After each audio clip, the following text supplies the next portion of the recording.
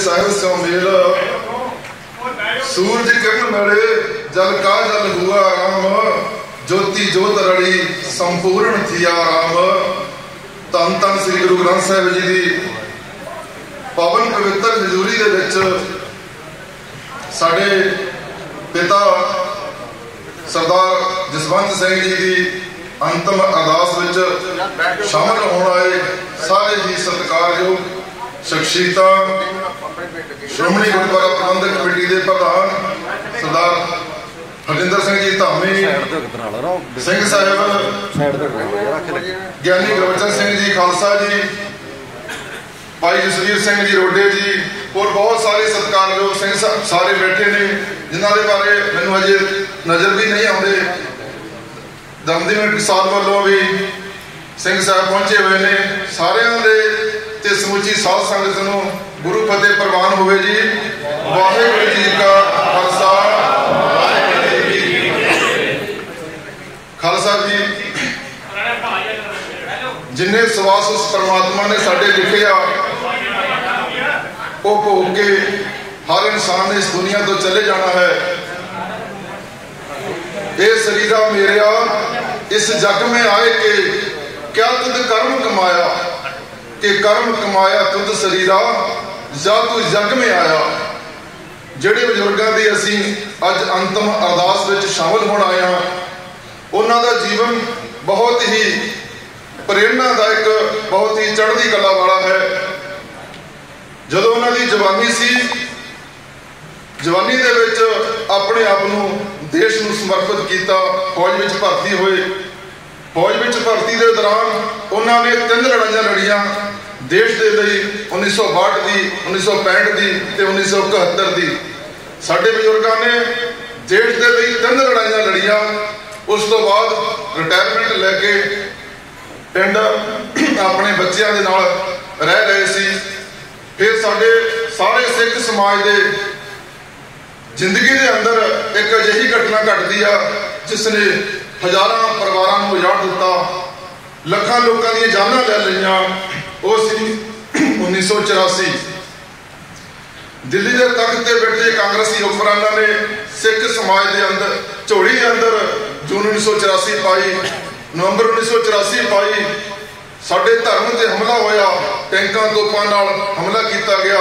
ਸ੍ਰੀ ਅਕਾਲ ਤਖਤ ਸਾਹਿਬ ਜੀ ਨੂੰ ਢਹਿ ਕੀਤਾ ਗਿਆ। ਹਜ਼ਾਰਾਂ ਨਿਰਦੋਸ਼ ਸਿੱਖਾਂ ਦਾ ਕਤਲੇਆਮ ਕੀਤਾ ਗਿਆ। ਦਰਬਾਰ ਸਾਹਿਬ ਦੀ ਪਵਿੱਤਰ ਪ੍ਰਕਾਮਾ ਨਿਰਦੋਸ਼ ਸਿੱਖਾਂ ਦੇ ਖੂਨ ਨਾਲ ਰੰਗੀ ਗਈ। ਫਿਰ ਨਵੰਬਰ 1984 ਤੇ 10000 ਸਿੱਖਾਂ ਦਾ ਕਤਲੇਆਮ ਕੀਤਾ ਗਿਆ ਦਿੱਲੀ ਦੀਆਂ ਗਲੀਆਂ ਦੇ ਵਿੱਚ। ਦਿੱਲੀਆਂ ਦੀ ਦਿੱਲੀ ਦੀਆਂ ਗਲੀਆਂ ਦੇ ਵਿੱਚ ਤਿੰਨ ਦਿਨ ਸਿੱਖਾਂ ਦਾ ਕਤਲੇਆਮ ਹੁੰਦਾ ਰਿਹਾ। ਹਾਂਜੀ ਹਾਂਜੀ। ਤਿੰਨ ਦਿਨ ਦੇ ਕਤਲੇਆਮ ਤੋਂ ਬਾਅਦ ਉਸ ਕਤਲੇਆਮ ਦੇ ਕਰਨ ਵਾਲੇ ਮੁਖੀ ਰਾਜੀਵ ਗਾਂਧੀ ਘਰੋਂ ਬਾਹਰ ਨਿਕਲ ਕੇ, ਆਪਣੇ ਮਹਿਲ ਤੋਂ ਬਾਹਰ ਨਿਕਲ ਕੇ ਇਹ ਗੱਲ ਕਹਿੰਦਾ ਹੈ ਕਿ ਜਦੋਂ ਕੋਈ ਦਰਖਤ ਗਿਰਦਾ, ਤਾਂ ਧਰਤੀ ਹਿਲਦੀ ਹੈ, ਧਰਤੀ ਹਿਲਦੀ ਹੈ ਤਾਂ ਹਜ਼ਾਰਾਂ ਲੋਕ ਮਰ ਹੀ ਜਾਂਦੇ ਨੇ। ਇਹ ਕਹਿ ਕੇ ਇਹ ਸ਼ਬਦ ਸਿਰਫ ਸਿਰਫ ਦਿਨ ਲੈਣਾ ਨਹੀਂ ਸਨ। ਇਹ ਸ਼ਬਦ ਸਨ। ਉਸ ਦੀ ਮਾਨਸਿਕਤਾ ਨੂੰ ਦਰਸਾ ਰਹੇ ਸਨ। ਉਸ ਨੇ ਖੁਦ ਹੀ ਪੁਲਿਸ, ਖੁਦ ਹੀ ਅਦਾਲਤ, ਖੁਦ ਹੀ ਜੱਜ ਬਣ ਕੇ ਫੈਸਲਾ ਸੁਣਾ ਦਿੱਤਾ। ਸਾਰੇ ਕਾਤਲਾਂ ਨੂੰ ਬਾਇਜ਼ਤ ਬਰੀ ਕਰ ਦਿੱਤਾ। ਘਟਨਾ ਨੇ ਸਮੁੱਚੇ ਸਿੱਖ ਸਮਾਜ ਨੂੰ ਬਹੁਤ ਗਹਿਰੇ ਜ਼ਖਮ ਦਿੱਤੇ, ਕਦੇ ਨਾ ਭਰੇ ਜਾਣ ਵਾਲੇ ਸਦੀਵੀ ਜ਼ਖਮ ਦਿੱਤੇ। ਖਾਲਸਾ ਜੀ, ਜਦੋਂ ਦਿੱਲੀ ਦੇ ਤਖਤ ਤੇ ਬੈਠੇ ਹੁਕਮਰਾਨਾਂ ਨੇ ਸਾਨੂੰ ਇਨਸਾਫ ਦੇਣ ਤੋਂ ਇਨਕਾਰ ਕੀਤਾ, ਪੰਜਾਬ ਦੀ ਧਰਤੀ ਤੋਂ ਹਜ਼ਾਰਾਂ ਗੈਰ ਸਿੱਖ ਨੌਜਵਾਨਾਂ ਦੇ ਹੱਥ ਹਥਿਆਰਾਂ ਤੱਕ ਚਲੇ ਗਏ। ਉਹਨਾਂ ਨੌਜਵਾਨਾਂ ਦੇ ਵਿੱਚ ਸਾਡੇ ਬਜ਼ੁਰਗ ਜਸਵੰਤ ਸਿੰਘ ਜੀ ਦਾ ਬੇਟਾ ਭਾਈ ਹਰਪਿੰਦਰ ਸਿੰਘ ਗੋਲਡੀ ਵੀ ਉਸ ਸੰਘਰਸ਼ ਦੇ ਵਿੱਚ ਸ਼ਾਮਲ ਹੋਇਆ। 18 ਸਾਲ ਦੀ ਉਮਰ ਦੇ ਵਿੱਚ ਭਾਈ ਹਰਪਿੰਦਰ ਸਿੰਘ ਗੋਲਡੀ ਕੌਮ ਦੀ ਸੇਵਾ ਕਰਦੇ ਹੋਏ ਸ਼ਹਾਦਤ ਨੂੰ ਪ੍ਰਾਪਤ ਹੋ ਗਏ। ਉਹਨਾਂ ਦੇ ਸੰਘਰਸ਼ ਵਿੱਚ ਸ਼ਾਮਲ ਹੋਣ ਦੇ ਕਾਰਨ ਪਰਿਵਾਰ ਨੂੰ ਬਹੁਤ ਹੀ ਕਸ਼ਟ ਸਹਿਣੇ ਪਏ, ਦੁੱਖ ਸਹਿਣੇ ਪਏ। ਸਾਡੇ ਬਜ਼ੁਰਗਾਂ ਦੇ ਕੇਸ ਪਾ ਕੇ ਜੇਲ੍ਹ ਭੇਜ ਦਿੱਤਾ ਗਿਆ। ਇਸੇ ਦੌਰਾਨ ਸਾਡੀ ਭੈਣ ਬੀਬੀ ਅਮਨਦੀਪ ਅਮਨਦੀਪ ਕੌਰ ਜੀ ਨੂੰ ਸਾਡੇ ਘਰ ਆ ਕੇ ਗੋਲੀਆਂ ਮਾਰੀਆਂ ਗਈਆਂ। ਇਸ ਸੰਘਰਸ਼ ਦੇ ਦੌਰਾਨ ਮੇਰੀ ਮੁਲਾਕਾਤ ਭਾਈ ਹਰਪਿੰਦਰ ਸਿੰਘ ਗੁੱਟ ਦੇ ਨਾਲ ਹੁੰਦੀ ਹੈ। ਉਹ ਮੁਲਾਕਾਤ ਮੈਨੂੰ ਉਹਨਾਂ ਦੀ ਸ਼ਹਾਦਤ ਤੋਂ ਬਾਅਦ ਖਿੱਚ ਕੇ ਪਰਿਵਾਰ ਤੱਕ ਲੈ ਜਾਂਦੀ ਹੈ। ਫਿਰ ਮੈਂ ਉਸ ਪਰਿਵਾਰ ਦਾ ਹਿੱਸਾ ਬਣ ਕੇ ਜਸਵੰਤ ਸਿੰਘ ਜੀ ਅਤੇ ਮਾਤਾ ਸਰਜੀਤ ਕੌਰ ਜੀ ਭੈਣ ਕਮਲਦੀਪ ਕੌਰ ਮੈਨੂੰ ਆਪਣਾ ਭਰਾ ਭਰਾ ਤੇ ਬਜ਼ੁਰਗ ਮੈਨੂੰ ਆਪਣਾ ਬੇਟਾ ਬਣਾਉਂਦੇ ਨੇ। ਮੈਂ ਕਈ ਸਾਲ ਉਸ ਪਰਿਵਾਰ ਦੇ ਨਾਲ ਰਹਿੰਦਾ। ਪਰ ਉਸ ਪਰਿਵਾਰ ਦੇ ਦਰਦ ਦੇ ਵਿੱਚੋਂ ਸਾਨੂੰ ਕੌਮੀ ਦਰਦ ਮਹਿਸੂਸ ਹੁੰਦਾ ਸੀ। ਮੈਂ ਤੇ ਕੌਮੀ ਸ਼ਹੀਦ ਭਾਈ ਦਲਾਵਰ ਸਿੰਘ ਅਕਸਰ ਜਦੋਂ ਬਜ਼ੁਰਗਾਂ ਨੂੰ ਮਿਲਣ ਵਾਸਤੇ ਪਿੰਡ ਜਾਂਦੇ ਸੀ, ਚੜ੍ਹਦੀ ਗੱਲਾਂ ਦੀ ਗੱਲਾਂ ਕਰਦੇ ਸੀ। ਕੌਮ ਤੇ ਹੋਏ ਜ਼ੁਲਮ ਦੀਆਂ ਗੱਲਾਂ ਕਰਦੇ ਸੀ। ਆਪਣੇ ਸ਼ਹੀਦ ਹੋਏ ਵੀਰਾਂ ਦੇ ਪ੍ਰਤੀ ਆਪਣਾ ਫਰਜ਼ ਅਦਾ ਕਰਨ ਦੇ ਵਾਸਤੇ ਅਸੀਂ ਵੀ ਆਪਣਾ ਘਰ ਛੱਡ ਕੇ ਸੰਘਰਸ਼ ਵਿੱਚ ਸ਼ਾਮਲ ਹੋ ਗਏ। 31 ਅਗਸਤ 1995 ਨੂੰ ਕੌਮੀ ਸ਼ਹੀਦ ਭਾਈ ਦਲਾਵਰ ਸਿੰਘ ਸ਼ਹਾਦਤ ਨੂੰ ਪ੍ਰਾਪਤ ਹੋ ਗਏ ਤੇ ਉਸ ਤੋਂ ਬਾਅਦ ਮੇਰੀ ਗ੍ਰਿਫਤਾਰੀ ਹੋ ਗਈ। ਮੇਰੇ ਸੰਘਰਸ਼ ਤੋਂ ਵਿੱਚ ਸ਼ਾਮਲ ਹੋਣ ਕਰਕੇ ਵੀ ਸਾਡੇ ਬਜ਼ੁਰਗਾਂ ਨੂੰ ਬਹੁਤ ਦੁੱਖ ਤਕਲੀਫਾਂ ਸਹਿਣੀਆਂ ਪਈਆਂ। ਪਰਿਵਾਰ ਨੂੰ ਬਹੁਤ ਕੰਠ ਸਹਿਣੇ ਪਏ। ਸਰਕਾਰੀ ਜ਼ਬਰ ਦਾ ਸ਼ਿਕਾਰ ਹੋਣਾ ਪਿਆ। ਖਾਲਸਾ ਜੀ, ਸਾਡੇ ਬਜ਼ੁਰਗਾਂ ਦਾ ਜੀਵਨ ਪ੍ਰੇਰਣਾ ਦਾ ਸਰੋਤ ਜੀਵਨ ਹੈ। ਪਿਛਲੇ 26 ਸਾਲਾਂ ਤੋਂ ਮੇਰੇ ਪਿੱਛੇ ਮੇਰੀ ਭੈਣ, ਮੇਰਾ ਜਰਨੈਲ ਬਣ ਕੇ ਮੇਰੇ ਸੰਘਰਸ਼ ਦਾ ਜਰਨੈਲ ਬਣ ਕੇ ਮੇਰੇ ਨਾਲ, ਮੇਰੀ ਆਵਾਜ਼ ਬਣ ਕੇ ਮੇਰੇ ਨਾਲ ਲੜ ਰਹੀ ਹੈ। ਉਹ ਤਾਂ ਹੀ ਸੰਭਵ ਹੋ ਸਕਿਆ ਕਿਉਂਕਿ ਸਾਡੇ ਪਿੱਛੇ ਸਾਡੇ ਬਜ਼ੁਰਗਾਂ ਦੀ ਤਾਕਤ ਸੀ। ਉਹ ਐਸੀ ਤਾਕਤ ਸੀ, ਅਸੀਂ ਦਿੱਲੀ ਦੇ ਤਖਤ ਦੇ ਅੱਗੇ ਵੀ ਸਿਰ ਉੱਚਾ ਚੱਕ ਕੇ ਖੜ ਸਕੇ। ਸਾਡੇ ਬਜ਼ੁਰਗ 5 ਸਾਲ ਵਿੜੇ ਤੇ ਵੀ ਪਏ ਰਹੇ। ਉਹਨਾਂ ਨੇ ਉਹਨਾਂ ਦੇ ਦੋਨੋਂ ਬੱਚੇ ਸ਼ਹੀਦ ਹੋਏ। ਉਹਨਾਂ ਦੀ ਜ਼ਿੰਦਗੀ ਦੇ ਵਿੱਚ ਐਸੇ ਪਲ ਆਏ, ਦੋਨਾਂ ਬੱਚਿਆਂ ਦੀ ਅੰਤਮ ਸੰਸਕਾਰ ਕਰਨ ਦਾ ਉਹਨਾਂ ਨੂੰ ਇਜਾਜ਼ਤ ਨਹੀਂ ਮਿਲੀ। ਉਹਨਾਂ ਦੇ ਵਿੱਚ ਸ਼ਾਮਲ ਹੋਣ ਦੀ ਇਜਾਜ਼ਤ ਨਹੀਂ ਮਿਲੀ। ਬਹੁਤ ਕੌਮੀ ਕੰਚ ਸਹਿੰਦੇ ਹੋਏ ਸਾਡੇ ਬਜ਼ੁਰਗ 5 ਸਾਲ ਬਿਸਤਰੇ ਤੇ ਬਹਿ ਕੇ ਵੀ ਸਾਡੀ ਤਾਕਤ ਬਣੇ ਰਹੇ।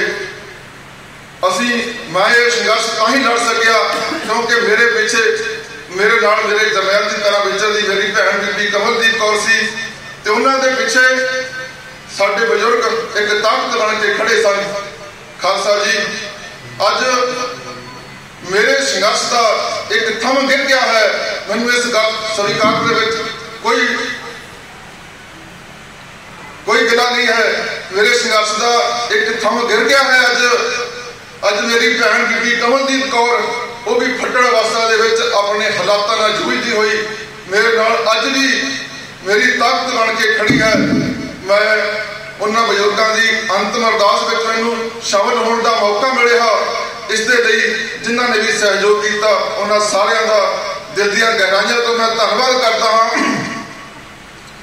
ਮੈਂ ਇੱਥੇ ਇਹ ਕਹਿਣਾ ਚਾਹੁੰਦਾ ਹਾਂ, ਮੈਂ ਸਾਰੇ ਜਿਹੜੇ ਤੁਸੀਂ ਸਤਿਕਾਰਯੋਗ, ਮੇਰੇ ਬਹੁਤ ਹੀ ਸਤਿਕਾਰਯੋਗ ਬਜ਼ੁਰਗ ਇੱਥੇ ਕੌਮ ਦੇ ਆਗੂ ਇੱਥੇ ਆਏ ਹੋ, ਮੈਂ ਤੁਹਾਨੂੰ ਇਹ ਕਹਿਣਾ ਚਾਹੁੰਦਾ ਹਾਂ ਕਿ ਸਮਾਗਮ ਦੇ ਵਿੱਚ ਸ਼ਾਮਲ ਹੋਣਾ ਤੁਹਾਡੇ ਵੱਡੇ ਭਾਗਾਂ ਦੀ ਗੱਲ ਹੈ। ਜਦੋਂ ਵੀ ਇਹ ਸਮਾਗਮ ਖਤਮ ਹੋਏ, ਤੁਸੀਂ ਮੇਰੀ ਭੈਣ ਦੇ ਘਰ ਜ਼ਰੂਰ ਜਾਣਾ। ਉਸ ਘਰ ਦੇ ਵਿੱਚ ਬੈਠ ਕੇ ਮਹਿਸੂਸ ਕਰਨਾ ਕਿ ਇਸ ਪਰਿਵਾਰ ਨੇ ਆਪਣੇ ਕੌਮੀ ਫਰਜ਼ ਅਦਾ ਕਰਨ ਵਾਸਤੇ ਕਿੰਨੇ ਕੰਠ ਸਏ ਤੁਸੀਂ ਉਸ ਘਰ ਦੇ ਵਿੱਚ ਬੈਠ ਕੇ ਇਹ ਮਹਿਸੂਸ ਕਰੋਗੇ ਕਿ ਇਸ ਪਰਿਵਾਰ ਨੇ ਆਪਣੇ ਕੌਮੀ ਫਰਜ਼ ਅਦਾ ਕਰਨ ਦੇ ਵਿੱਚ ਕੋਈ ਕਸਰ ਬਾਕੀ ਨਹੀਂ ਰੱਖੀ ਕਿਤੇ ਤੁਹਾਡੇ ਤੋਂ ਉਸ ਪਰਿਵਾਰ ਦੇ ਪ੍ਰਤੀ ਆਪਣੇ ਫਰਜ਼ ਅਦਾ ਕਰਨ ਦੇ ਵਿੱਚ ਕਮੀ ਜ਼ਰੂਰ ਰਹਿ ਗਈ ਹੈ ਇਹ ਤੁਹਾਨੂੰ ਉਸ ਘਰ ਦੇ ਵਿੱਚ ਬੈਠ ਕੇ ਮਹਿਸੂਸ ਹੋਏਗਾ ਖਾਲਸਾ ਜੀ ਅਸੀਂ ਕੱਲ ਵੀ ਆਪਣੇ ਫਰਜ਼ ਅਦਾ ਕੀਤੇ ਸੀ, ਅੱਜ ਵੀ ਕਰ ਰਹੇ ਹਾਂ, ਅੱਗੇ ਵੀ ਕਰਾਂਗੇ। ਮੈਂ ਇੱਥੇ ਕਹਿਣਾ ਚਾਹੁੰਦਾ ਹਾਂ, ਸਾਡੇ ਬਜ਼ੁਰਗਾਂ ਦੀ ਆਤਮਾ ਨੂੰ ਸ਼ਾਂਤੀ ਤਾਂ ਹੀ ਮਿਲੇਗੀ। ਮੈਂ ਇੱਥੇ ਖਾਲਸਾ ਪੰਥ ਨੂੰ ਇਹ ਸੰਦੇਸ਼ ਦੇਣਾ ਚਾਹੁੰਦਾ ਹਾਂ, ਅਕਾਲ ਪੁਰਖ ਵਿੱਚ ਵਿਸ਼ਵਾਸ ਦਾ ਪ੍ਰਤੀਕ ਅਕਾਲੀ ਹਿੰਦੂ, ਮੁਸਲਮਾਨ, ਸਿੱਖ, ਇਸਾਈ, ਏਕਤਾ ਦਾ ਪ੍ਰਤੀਕ ਅਕਾਲੀ ਸਾਰੇ ਧਰਮਾਂ ਦੇ ਸਤਕਾਰ ਦਾ ਪ੍ਰਤੀਕ ਅਕਾਲੀ, ਸਰਬ ਸਾਂਝੀ ਬਾਲਤਾ ਦਾ ਸੰਦੇਸ਼ ਅਕਾਲੀ। ਮੇਰੀ ਰੂਹ ਅਕਾਲੀ, ਮੇਰਾ ਦਿਲ ਅਕਾਲੀ। ਹਾਂ, ਮੈਂ ਅਕਾਲੀ। ਹਾਂ, ਮੈਂ ਅਕਾਲੀ। ਚਾਹੁੰਦਾ ਹਾਂ ਇਸ ਧਰਤੀ ਤੇ ਸਰਕਾਰ ਅਕਾਲੀ। ਖਾਲਸਾ ਜੀ। ਬੋਲੇ!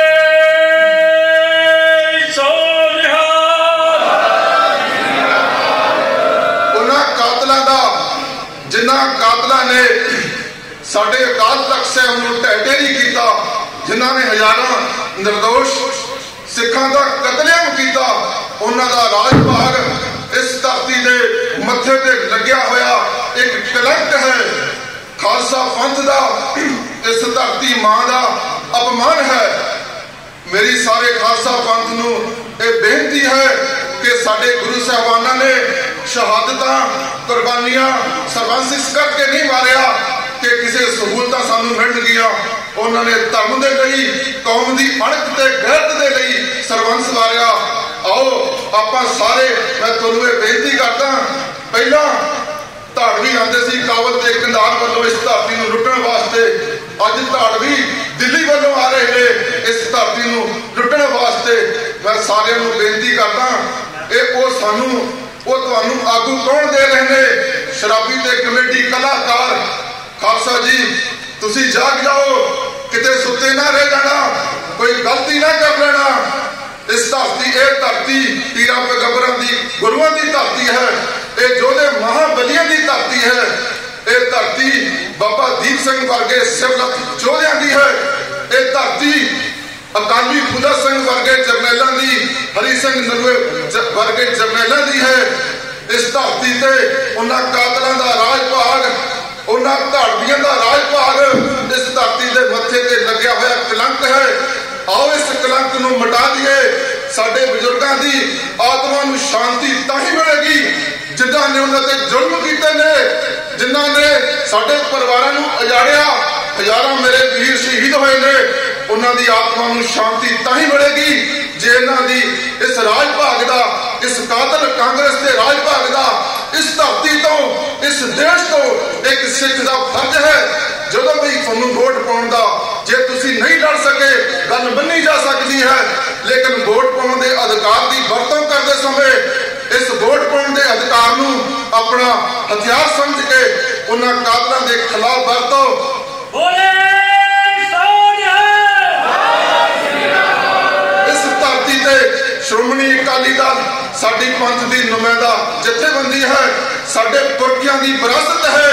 ਇਹ ਵਿਰਾਸਤ ਜਿੰਨੀ ਤਕੜੀ ਹੋਏਗੀ, ਜਿੰਨੀ ਮਜ਼ਬੂਤ ਹੋਏਗੀ, ਖਾਲਸਾ ਜੀ, ਉਹ ਹੀ ਸਾਡੇ ਹੱਕ ਸੁਰੱਖਿਅਤ ਰਹਿਣਗੇ। ਸਾਡੇ ਉਹਨਾਂ ਹਜ਼ਾਰਾਂ ਇਹਨਾਂ ਕਾਤਲਾਂ ਦੇ ਜ਼ੁਲਮ ਦਾ ਸ਼ਿਕਾਰ ਹੋਏ, ਉਹਨਾਂ ਹਜ਼ਾਰਾਂ ਸ਼ਹੀਦਾਂ, ਹਜ਼ਾਰਾਂ ਨਿਰਦੋਸ਼ ਸਿੱਖਾਂ ਦੀਆਂ ਆਤਮਾਵਾਂ ਨੂੰ ਸ਼ਾਂਤੀ ਤਾਂ ਹੀ ਮਿਲੇਗੀ ਜਦੋਂ ਇਹਨਾਂ ਕਾਤਲਾਂ ਦਾ ਰਾਜ ਭਾਗ ਇਸ ਧਰਤੀ ਤੋਂ ਖਤਮ ਹੋਵੇਗਾ, ਇੱਕ ਸਖਤ ਸਿੱਖ ਦਾ ਫਰਜ਼ ਹੈ। ਜਿੱਥੇ ਵੀ ਕਦੇ ਉਹਨੂੰ ਮੌਕਾ ਮਿਲੇ, ਇਹਨਾਂ ਦੇ ਖਿਲਾਫ ਵੋਟ ਕਰੋ। ਇਹਨਾਂ ਦੇ ਰਾਜ ਭਾਗ ਨੂੰ ਖਤਮ ਕਰਨ ਲਈ ਵੋਟ ਕਰੋ। ਮੇਰੇ ਪਿਤਾ ਨੂੰ, ਉਹਨਾਂ ਹਜ਼ਾਰਾਂ ਸ਼ਹੀਦਾਂ ਨੂੰ, ਤਾਂ ਹੀ ਉਹਨਾਂ ਦੀ ਆਤਮਾ ਨੂੰ ਸ਼ਾਂਤੀ ਮਿਲੇਗੀ। ਮੈਂ ਇੰਨਾ ਕੁਝ ਬੋਲਦਾ ਹੋਇਆ, ਤੁਹਾਡੇ ਤੋਂ ਸਾਰਿਆਂ ਨੂੰ ਮੈਂ ਧੰਨਵਾਦ ਕਰਦਾ, ਜਿਹੜੇ ਵੀ ਇੱਥੇ ਸਾਡੇ ਪਿਤਾ ਜੀ ਦੇ ਇਸ ਸਮਾਗਮ ਦੇ ਵਿੱਚ ਸ਼ਾਮਲ ਹੋਣ ਲਈ ਪਹੁੰਚੇ ਨੇ। ਮੇਰੀ ਭੈਣ ਦਾ ਯੋਗਦਾਨ ਮੇਰੇ ਮੈਂ ਕਈ ਜਨਮ ਨਹੀਂ ਦੇ ਸਕਦਾ। ਮੈਂ ਨਹੀਂ ਇਹ ਸਮੁੱਚੀ ਕੌਮ ਇਹ ਯੋਗਦਾਨ ਨੂੰ ਦਾ ਕੋਈ ਮੁੱਲ ਨਹੀਂ ਉਤਾਰ ਸਕਦੀ। ਮੈਂ ਤੁਹਾਨੂੰ ਫਿਰ ਬੇਨਤੀ ਕਰਦਾ, ਤੁਸੀਂ ਮੇਰੀ ਭੈਣ ਦੇ ਘਰ ਜਾ ਕੇ ਬੈਠ ਮਹਿਸੂਸ ਕਰਨਾ ਕਿ ਇਸ ਪਾਰ ਇਸ ਪਰਿਵਾਰ ਨੇ ਆਪਣੇ ਕੌਮੀ ਫਰਜ਼ ਅਦਾ ਕਰਨ ਦੇ ਵਿੱਚ ਕੋਈ ਕਸਰ ਬਾਕੀ ਨਹੀਂ ਛੱਡੀ। ਤੁਹਾਡੇ ਤੋਂ ਕੋਈ ਕਮੀ ਜ਼ਰੂਰ ਰਹਿ ਗਈ ਹੈ। ਇਹ ਤੁਹਾਨੂੰ ਉਸ ਗੱਲ ਦਾ ਅਹਿਸਾਸ ਹੋਵੇਗਾ। ਉੱਥੇ ਬੈਠ ਕੇ ਸਾਡਾ ਜੀਵਨ ਖਾਲਸਾ ਪੰਥ ਦੀ ਚੜ੍ਹਦੀ ਕਲਾ ਨੂੰ ਸਮਰਪਿਤ ਰਿਹਾ ਹੈ। ਹਮੇਸ਼ਾ ਰਹੇਗਾ। ਅੱਗੇ ਵੀ ਜਦੋਂ ਵੀ ਸਾਨੂੰ ਕੌਮੀ ਫਰਜ਼ ਅਦਾ ਕਰਨ ਦਾ ਕਦੇ ਕੋਈ ਵਕਤ ਆਏਗਾ, ਅਸੀਂ ਕਦੇ ਪਿੱਛੇ ਨਹੀਂ ਹਟਾਂਗੇ। ਮੇਰਾ ਇਹੀ ਕਹਿਣਾ ਹੈ ਅਕਾਲ ਤਖਤ ਮਹਾਨ ਹੈ। ਸਿੱਖ ਪੰਥ ਦੀ ਸ਼ਾਨ ਹੈ। ਚੂਲ ਤੇ ਨਿਸ਼ਾਨ ਰਹੇ, ਪੰਥ ਦਾ। ਚੂਲ ਤੇ ਨਿਸ਼ਾਨ ਰਹੇ। ਚੂਲ ਤੇ ਨਿਸ਼ਾਨ ਰਹੇ। ਸਾਰਿਆਂ ਦੇ, ਤੁਸੀਂ ਸਾਰੇ ਇੱਥੇ ਸਾਡੇ ਸਮਾਗਮ ਦੇ ਵਿੱਚ ਚੱਲ ਕੇ ਆਏ ਹੋ। ਤੁਹਾਡਾ ਸਾਰਿਆਂ ਦਾ ਬਹੁਤ ਬਹੁਤ ਧੰਨਵਾਦ। ਦਿਲ ਦੀਆਂ ਗਹਿਰਾਈਆਂ ਤੋਂ ਧੰਨਵਾਦ। ਜਿਹੜੀ ਜਿਨ੍ਹਾਂ ਨੇ ਜਿਹੜੇ ਵੀ ਸ਼੍ਰੋਮਣੀ ਅਕਾਲੀ ਦਲ ਦੇ ਲੀਗਲ ਸੈੱਲ ਦੇ ਉਹਨਾਂ ਵੀਰਾਂ ਨੇ ਸਾਡੀ ਇਹ ਇਜਾਜ਼ਤ ਕਰਵਾਈ ਹੈ ਉਹਨਾਂ ਦਾ ਧੰਨਵਾਦ। ਉਸ ਅਕਾਲ ਪੁਰਖ ਸਭ ਤੋਂ ਵੱਡਾ ਉਸ ਅਕਾਲ ਪੁਰਖ ਵਾਹਿਗੁਰੂ ਦਾ ਧੰਨਵਾਦ, ਜਿਸ ਨੇ ਮੈਨੂੰ 26 ਸਾਲਾਂ ਬਾਅਦ ਇੱਕ ਘੰਟੇ ਲਈ ਆਪਣੇ ਪਿਤਾ ਦੇ ਇਸ ਅੰਤਮ ਅਰਦਾਸ ਵਿੱਚ ਸ਼ਾਮਲ ਹੋਣ ਦਾ ਮੌਕਾ ਦਿੱਤਾ। ਮੈਨੂੰ ਆਪਣੀ ਭੈਣ ਨੂੰ ਉਹਦੇ ਘਰ ਜਾਣ ਦਾ ਅਜੇ ਮੈਨੂੰ ਘਰ ਨਹੀਂ ਲੈ ਕੇ ਗਏ। ਮੇਰੀ ਭੈ- ਭੈਣ ਨੂੰ ਮਿਲਣ ਦਾ ਮੌਕਾ ਮਿਲ ਦਿੱਤਾ। ਮੈਂ ਸਾਰਿਆਂ ਦਾ ਧੰਨਵਾਦ ਕਰਦਾ।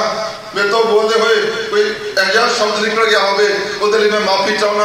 ਤੁਸੀਂ ਸਾਰੇ ਸਤ- ਸਤਿਕਾਰਯੋਗ ਹੋ। ਬਹੁਤ ਸਾਰਿਆਂ ਨੂੰ ਮੈਂ ਦੇਖ ਵੀ ਨਹੀਂ ਪਾ ਰਿਹਾ। ਇਸ ਕਰਕੇ ਸਾਰਿਆਂ ਦੇ ਲਈ ਬਹੁਤ ਬਹੁਤ ਸਤਿਕਾਰ। ਸਭ ਗੁਰੂ ਫਤਿਹ ਪ੍ਰਵਾਨ ਹੋਵੇ ਜੀ। ਵਾਹਿਗੁਰੂ ਜੀ ਕਾ ਖਾਲਸਾ। ਵਾਹਿਗੁਰੂ ਜੀ